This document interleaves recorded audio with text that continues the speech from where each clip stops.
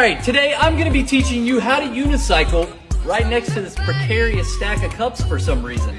Alright, so the first thing you want to do is get on it, and then you just commit. Who